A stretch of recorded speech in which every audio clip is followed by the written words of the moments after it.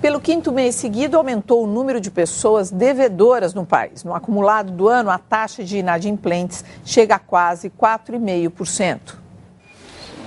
A matemática é simples. A inflação joga para cima os preços de produtos e serviços. A vida fica mais cara, o salário não acompanha e o consumidor não consegue fechar as contas. Tá difícil. Realmente tá bem mais difícil mesmo. É, fica endividado.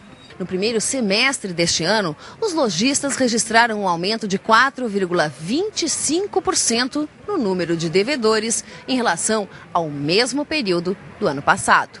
No acumulado do ano, é a quinta alta consecutiva. Janeiro, inadimplência estava negativa em menos 10,09%.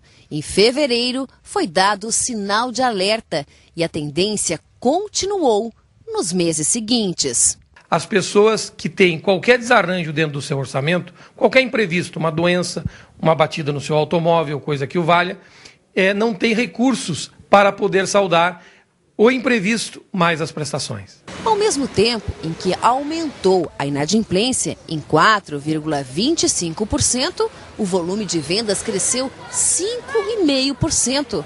Parece uma contradição, mas só parece. Essa é a nova classe média que está aprendendo a consumir e está aprendendo a consumir com através do crédito. Em torno de 20% daquilo que a sua família ganha pode ser comprometido em dívidas de longo prazo. Mais que isso, pode lhe gerar problemas. É só olhar e não crescer os olhos